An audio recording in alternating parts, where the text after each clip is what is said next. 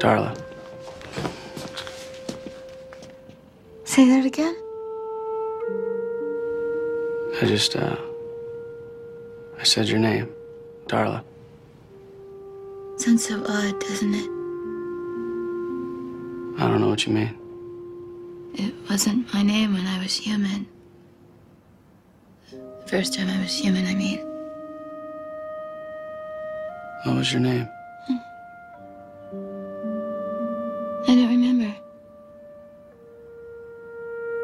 I'm not her, whoever she was. I was Darla for so long. Then I wasn't. I. I wasn't anything.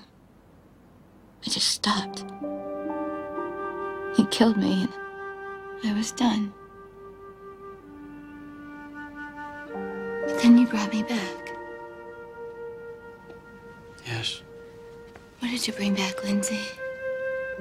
What am I? Did you bring back that girl whose name I can't remember? Or did you bring back something else? The other thing. Both. Neither. Uh, you're just you. Whatever that is. Why haven't you kissed me? You've been dying for it, haven't you? I didn't know if you wanted me to. Why should that matter? You think I ever hesitated when I wanted something? Life's too short. Believe me, I know. 400 years and still too short.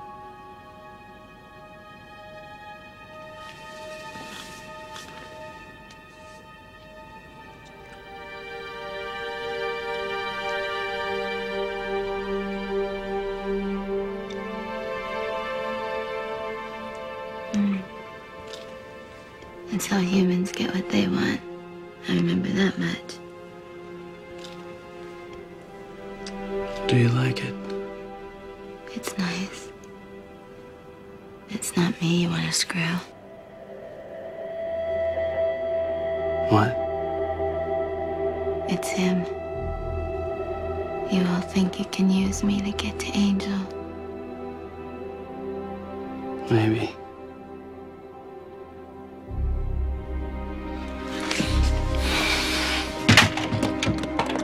What am I? I don't know. I don't care. Now do you care? That's how vampires get what they want. What am I? Darla. Is that it? Am I Darla? Careful. Darla would snap you in half. Is that who I am?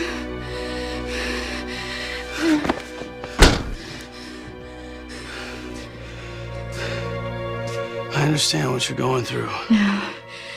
Nobody understands. Nobody can understand. I can feel this body dying, Lindsey. I can feel it decaying moment by moment. It's being eaten away by this thing inside of it. It's a cancer. This soul.